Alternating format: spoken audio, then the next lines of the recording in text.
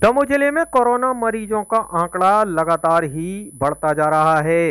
रोज़ाना ही बड़ी संख्या में कोरोना के नए मामले सामने आ रहे हैं। ज़िले में आज भी बड़ी संख्या में कोरोना के नए मामले मिले हैं। मुख्य चिकित्सा एवं स्वास्थ्य अधिकारी डॉक्टर संगीता त्रिवेदी ने जानकारी देते हुए बताया कि दमोह ज़िले में आज 130 लोगों की कोरोना रिपोर्ट पॉजिटिव आई है। हालाँकि सीएमएचओ ऑफ़िस से अभी कोरोना मरीजों की विस्तृत जानकारी प्राप्त नहीं हो सकी है। आज 500 लोगों की जाँच के विरुद्ध 130 लोगों की कोरोना रिपोर्ट पॉजिटिव आई है।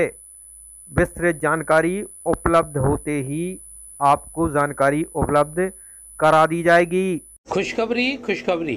अब आपके शहर दमोह में आर्थोपेडिक सर्जन, हड्डी जोड़ एवं स्पाइन रोग विशेषज्ञ doctor Ravindra Chaurasia MBBS DNB assistant professor Bundelkhand medical college, Sagar, Madhya Pradesh.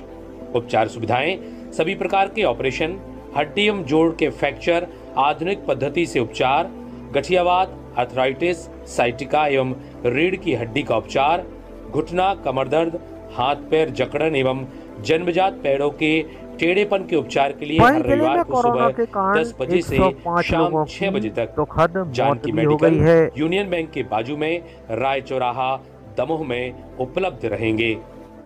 Hello guys क्या आप जानते हैं अब हमारे शहर में एक नया ऐप आया है जिसका नाम है के कार्ड जी हाँ जिससे आप फल सब्ज़ी किराना और भी अपनी ज़रूरत का सारा सामान घर बैठे उपलब्ध कर सकते हैं।